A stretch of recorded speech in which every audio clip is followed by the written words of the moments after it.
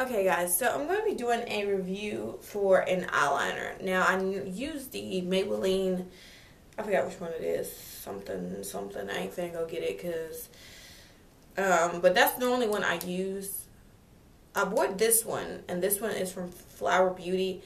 I haven't tried a lot of Flower Beauty products, but I know it's owned by Drew Barrymore, and I remember her on CoverGirl. So I thought the line would, it looks nice, it looks well presented, um, you always can find the majority of everything you need.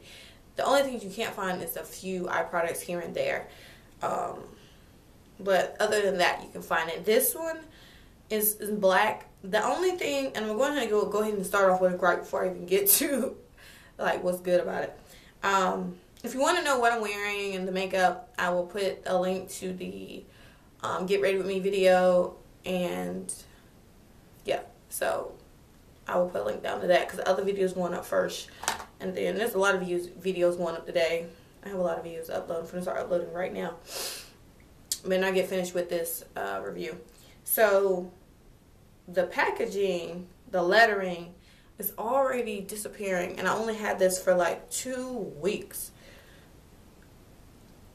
And mind you, I, I leave it in my little stand thing with all the other like mascaras, brushes and all that and already the lettering is going. That's the only thing I don't like.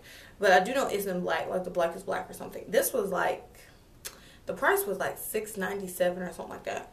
Or six ninety eight. So this is um like the, the felt tip pin to it. As you see it's already dirty.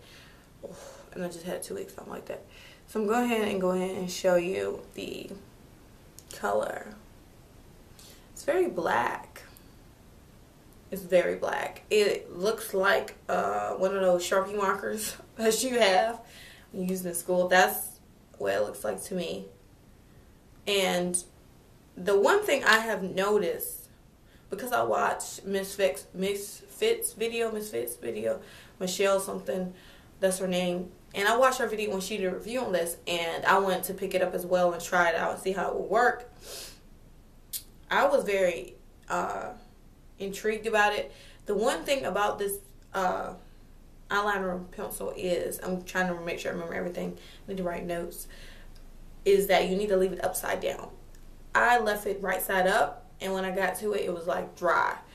I don't know why this felt tip pen dries out like this as like quick as it does but it's not that it dries out it's just that the liquid in it can't get down to the pen.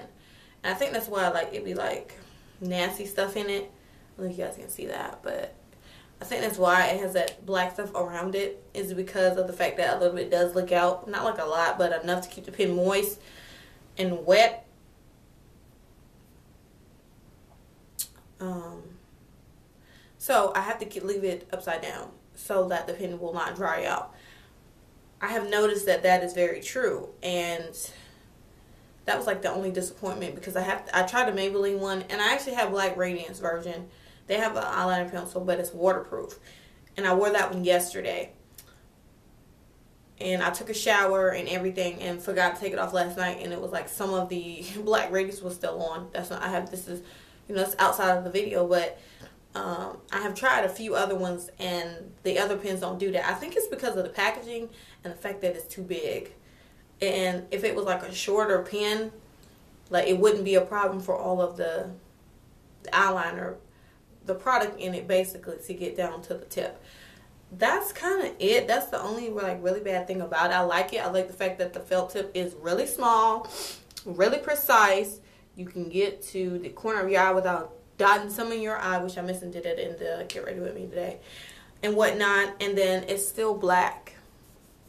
The only thing that I would say that if you have somewhat semi-oily lids or you apply um, eyeshadow primer, because I always apply eyeshadow primer before I put eyeliner on to make it stick to something, stick to my eyelids and not like disappear over time, is that make sure that it dries. The um, eyeshadow base dries.